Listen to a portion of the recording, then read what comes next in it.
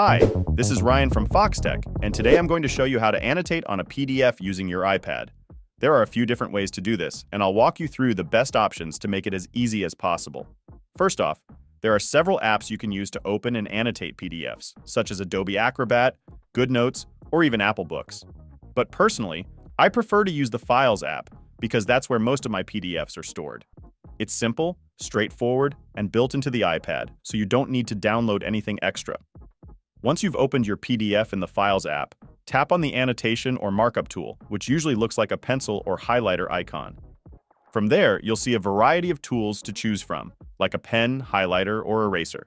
If you have an Apple Pencil, this is where it really shines.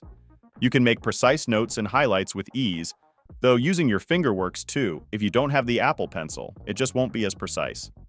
If you need to add text, you can tap on the Text tool to type comments or notes directly onto the PDF. You can also adjust the color and thickness of your pen or highlighter to suit your needs. This gives you a lot of flexibility, whether you're making simple notes or detailed annotations. Once you've finished marking up the PDF, don't forget to save or export it so that your changes are kept. The Files app makes this easy, and you can even share the annotated PDF via email or cloud storage. If you need more advanced features, third-party apps like Notability or GoodNotes offer additional tools for annotating, organizing, and managing your PDFs. These apps are especially useful if you're handling a lot of documents and want some extra functionality. Thanks for watching.